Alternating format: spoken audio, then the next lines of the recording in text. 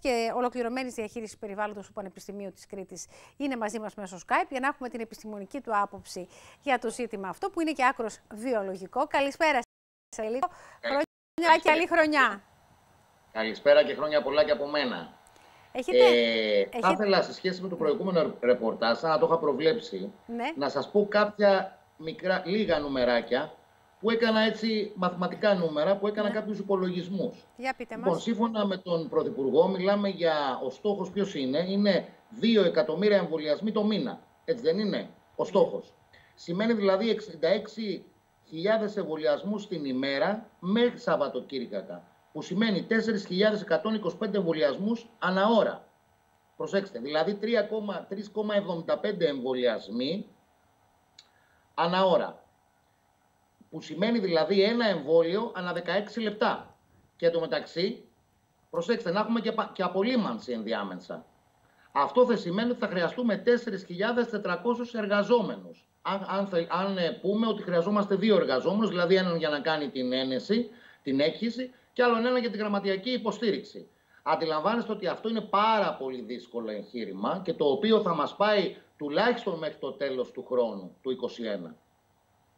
Οπότε μου λέτε ότι ουσιαστικά ο σχεδιασμός του προγράμματος Ελευθερία είναι μη εφικτός στην υλοποίηση; Είναι πάρα πολύ δύσκολος. Είναι πάρα πολύ δύσκολος. Δηλαδή αν φτάσουμε να πιάσουμε το 70% του πληθυσμού, δηλαδή ανοσία της κοινότητας, τον ερχόμενο Οκτώβριο-Νοέμβριο, θα είμαστε πάρα πάρα πολύ τυχεροί και ευχαριστημένοι. Η μόνη χώρα που το έχει κατορθώσει αυτό μέχρι τώρα, η μόνη χώρα, είναι το Ισραήλ.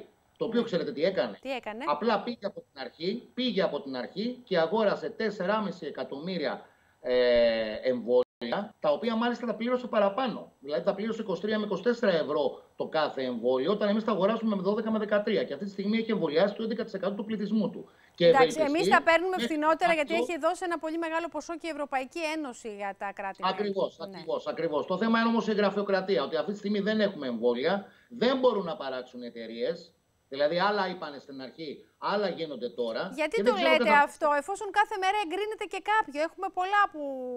Ε... Και πάλι και η Μοντέρνα που εγκρίθηκε και σήμερα δεν έχει τη δυνατότητα να παράξει τόσο πολλά εκατομμύρια. Δηλαδή, φαντάζεστε ότι είμαστε 7,5 δισεκατομμύρια πληθυσμός. Και η Μοντέρνα και η Pfizer, χοντρικά σας το λέω τώρα, θέλουν να καλύψουν τα 2 δισεκατομμύρια περίπου. 2,5 δισεκατομμύρια του παγκόσμιου πληθυσμού. Αυτό είναι πάρα πολύ δύσκολο. Σε ό,τι αφορά την παραγωγή, είναι άλλο η κατασκευή ενός ε, εμβολίου ναι. και άλλο η παραγωγή. Ειδικά αυτή η μαζική παραγωγή. Είναι ίσως το πρώτο παγκόσμιο ε, ε, ε, πείραμα, να σας το πω και έτσι, το πρώτο παγκόσμιο πείραμα σε τέτοια βάση, τεχνική βάση, που πάει να εμβολιάσει όλο τον πληθυσμό. Είναι, είναι πάρα σίγουρα, πολύ μπορούμε να αντιληφθούμε ότι είναι ένα πολύ δύσκολο εγχείρημα στο σύνολό του. Γιατί η πανδημία α, είναι ευνηδιαστική, μας ευνηδίασε, ευνηδίασε όλο τον κόσμο. Οι συνέπειες είναι πολλαπλές και σε όλους τους τομείς. Έχουμε φτάσει όμως στο εμβόλιο και θα πρέπει να το εντάξουμε, νομίζω, στα θετικά, στις θετικές εξελίξεις. Γιατί δεν έχουμε, να ελπίζουμε, πάρα... δεν έχουμε να ελπίζουμε σε κάτι άλλο. Κοιτάξτε, το θέμα είναι εξής. Ότι από την αρχή τι κάναμε. Ε, ε, υπήρξε μια αρκετή, έτσι να το πω, ε, υπερπληροφόρηση να το πω προπαγάνδα ίσω σε σχέση με το εμβόλιο. Δηλαδή ότι θα ερχόταν το εμβόλιο στη ζωή μας και ξαφνικά θα γυρνάγαμε ένα διακόπτη και η ζωή μας θα γυρνούσε στην κανονικότητα. Δηλαδή θα γυρνούσαμε όπως ήμασταν πριν από ένα χρόνο. Δεν είναι έτσι. Τα εμβόλια είναι το ιερό δισκοπότηρο, πραγματικά το πιστεύω αυτό της επιστήμης. Το ιερό δισκοπότηρο της επιστήμης. Όμως εν μέσω της κορύφωσης μιας πανδημίας όπως τώρα, δεν ξέρω αν μπορούν να κάνουν πολλά πράγματα. Πρέπει να βάλουμε όλα τα ιατροβιοφαρμακευτικά όπλα στη φαρέτρα μας. Δηλαδή, θέλουμε και τα φάρμακα, τα μονοκλονικά ναι. αντισώματα, αλλά κυρίως, όπως δείξατε πριν, θέλουμε πάρα πολλά μοριακά τεστ, όχι rapid μόνο. Ναι. Γιατί αυτά έχουν γύρω στις 200 φορές ε, λιγότερη ευαισθησία από τα μοριακά. Θέλουμε μοριακά τεστ με συγκεκριμένο επιδημιολογικό σχέδιο. Αν υπήρχε από την αρχή επιδημιολογικό σχέδιο στην Ελλάδα, δεν θα κλείναμε οριζόντια όλους τους νόμου. Θα έκλαν άλλοι νόμοι, άλλοι θα δούλευαν. Που σημαίνει ότι κάποια καταστήματα, κάποιες ε, υπηρεσίες, κάποιες επιχειρήσεις θα παρέμεναν ζωντανές. Έτσι πρέπει να κάνουμε. Δηλαδή να έχουμε σωστή επιδημιολογική παρατήρηση. Φανταστείτε δηλαδή ότι να μιλάμε σαν ένα exit poll. Πρέπει κάθε μέρα, να, κάθε εβδομάδα να κάνουμε ένα κυλιόμενο exit poll. Όπου να λέμε προοπτικά τι θα μας συμβεί σε ένα νομό ή σε μια περιοχή. Κύριε Λίκο, μέχρι το καλοκαίρι δεν θα έχει εμβολιαστεί ο πληθυσμό, δεν θα αρχίσουμε να ανασένουμε από τον εφιάλτη. Το βλέπω πάρα πολύ δύσκολο, δεδομένου ότι δεν υπάρχουν εμβόλια. Αυτή τη στιγμή δηλαδή το πρόβλημά μα, ακόμα και αν ήμασταν άρτια, τέλεια οργανωμένοι, τέλεια οργανωμένοι. Είναι ο αριθμό των εμβολίων που έχουμε στη διάθεσή μα. Ακριβώ. Πλέον η Γερμανία, σκεφτείτε, ότι φτιάξανε συγκεκριμένα logistics centers όπου γίνονται εμβολιασμοί, όχι μέσα στα νοσοκομεία, προσλάβανε άτομα, τα εκπαιδεύσανε για τρεις εβδομάδες, γιατί ξέρετε αυτό το εμβόλιο έχει μια διαφορετικότητα σχέση με τα προηγούμενα εμβόλια. Δεν είναι όπως το εμβόλιο της γρήπης, το οποίο το κάνει σε 5 λεπτά. Αυτό θέλει κατά μέσον όρο στη Γερμανία, για να καταλάβετε, κάποιος άνθρωπος που πάει σε ένα logistics center θέλει γύρω στις 2,5 ώρες.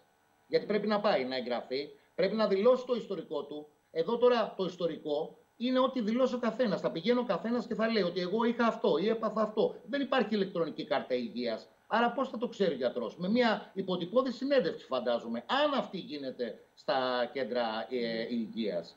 Και επιπλέον, το σημαντικότερο απ' όλα είναι ότι δεν γίνονται πριν, δεν γίνονται μοριακοί έλεγχοι.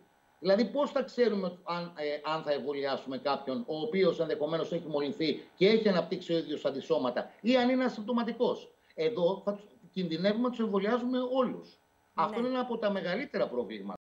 Όπως πρέπει να γίνεται και ενδιάμεσα, δηλαδή μέχρι μεταξύ πρώτης και, και δεύτερης δόσης. Δηλαδή, ναι. Ακριβώς πρέπει να γίνεται πανέλεγχος. Γιατί μπορεί ο άνθρωπος, ο καθένας να έχει μολυνθεί. Ναι. Πάντως δεν μπορούμε να εφησυχάζουμε όλο αυτό το διάστημα και να λέμε εντάξει, θα κάνουμε το εμβόλιο και θα απαλλαχτούμε. Πρέπει να τηρούμε και τα μέτρα προστασίας και όλα όσα μας λένε οι ειδικοί, εκτιμώ, γιατί μπορεί να φτάσουμε και πάλι σε συνθήκες Οκτωβρίου. Μάλιστα. Ε, αυτό, είναι, αυτό είναι δεδομένο. Το βασικότερο από όλα, σας είπα και προηγουμένως, είναι ότι πρέπει να υπάρχει επιδημιολογικός σωστός έλεγχος, σχεδιασμός. Δηλαδή, κυλιόμενα τεστ παντού. Και όχι πήγαμε σε μια πλατεία, κάναμε πέντε, πήραμε, πήραμε 15 δείγματα και λέμε ότι ας πούμε στην Αλίαρτο που λέγατε προηγουμένως ότι έχουν νοσήσει τόσοι. Αυτό είναι τυφλό δείγμα. Εμείς θέλουμε να υπάρχει διασπορά, να υπάρχει διαστρωμάτωση, να υπάρχουν κυλιόμενες, ε, ε, κυλιόμενα τεστ ώστε να μπορούμε να βλέπουμε τι γίνεται από μέρα σε μέρα σε όλο τον πληθυσμό. Προοπτικά βέβαια πάντα και όχι αναδρομικά, δηλαδή από μπρος προς τα πίσω. Υπάρχει και όλο αυτό το παιχνίδι των μεγάλων εταιριών γύρω από το εμβόλιο. Μπορούμε να αντιληφθούμε όλοι ότι τα συμφέροντα είναι τεράστια. 26-3 σύμφωνα με στοιχεία του Δούνου του. 26 τρισεκατομμύρια ευρώ αυτή τη στιγμή παίζονται σε αυτό που λέμε αγορά των εμβολίων. Σύμφωνα με στοιχεία του Δούνου του. Γιατί δεν είναι μόνο τα χρήματα που έχουν δώσει τα κράτη, δηλαδή η Ευρωπαϊκή Ένωση, οι Ηνωμένες Πολιτείες κτλ. Φανταστείτε ότι για τη Moderna και την ε, Pfizer έχουν δώσει από 2 δις η Ευρωπαϊκή Ένωση για το, για το κάθε ένα και άλλα 2 δις οι Ηνωμένες Πολιτείες. Όμως εδώ δεν είναι μόνο αυτό. Είναι το χρηματιστήριο, επανακεφαλαιοποίησης, κεφαλαιοποίηση κτλ. Είναι τεράστια τα ποσά. Πραγματικά είναι τεράστια. Βέβαια, πρέπει να πούμε ότι στην παγκόσμια ιστορία αυτό που ζούμε είναι ένα πρωτόγνωρο γεγονός. Δηλαδή η όλη αυτή προσπάθεια τεχνικά πώς θα μπορέσει να διαμορφωθεί, πώς θα μπορέσει να εμβολιαστεί όλος ο κόσμος, πραγματικά είναι ένα πρωτόγνωρο γεγονός. Όμως πρέπει να τονίσουμε αυτό, δεν είναι τα εμβόλια η μόνη λύση. Δηλαδή η, η, αποκλειστική λύση. Χρειάζονται, αν θέλετε, όλα τα όπλα να ε, διατεθούν στην ε, φαρέτρα μας. Και τα φάρμακα, ναι τα οποία φάρμακα θα, μπορούσαν, θα μπορέσουν πάρα πολύ να μας γλιτώσουν από ε, την υψηλή θνητότητα, αλλά κυρίως χρειάζονται τα τεστ. Εγώ επιμένω στα τεστ. Κύριε Λίκο, σας ευχαριστώ πάρα πολύ. Θα έχουν πολλά να διαβάσουν οι γενιές του μέλλοντος ε, για την περίοδο αυτή που διανύουμε τώρα. Να είστε καλά. Σας ευχαριστώ πολύ για τη συζήτηση. Καλό σας βράδυ. Και εγώ ιδιαίτερα και πάλι χρόνια πολλά. Να είστε, να καλά. καλά. Να έχουμε μια καλύτερη χρονιά φέτος.